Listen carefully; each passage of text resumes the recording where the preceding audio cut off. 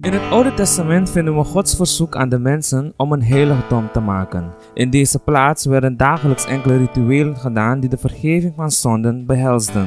Toen ik over dit onderwerp begon te studeren, dacht ik dat elke keer dat iemand zondigde het nodig was om een dier te doden.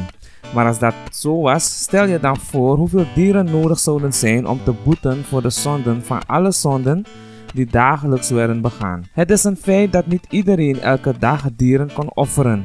De priester die dagelijks twee offers in de tempel, één in de ochtend en één in de middag. Dat was een offer voor de zonden die overdag werden gepleegd.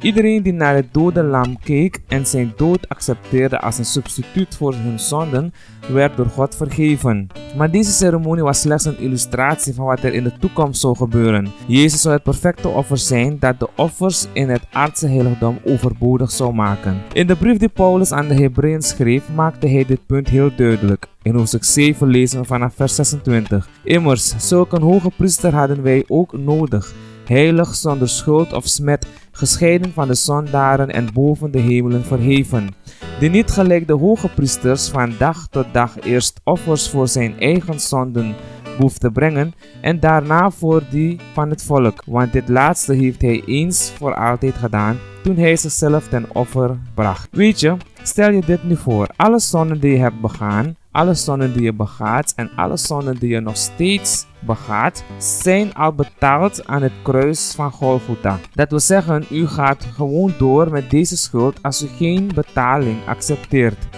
Dus op een eenvoudige manier kunnen we spreken over drie stappen naar verlossing. Stap 1. Erken dat je een zondaar bent. Stap 2. Accepteer het offer van Christus als vergeving van uw zonden. En stap 3. Accepteer de hulp van Christus om je oude leven in een nieuw bestaan te hervormen.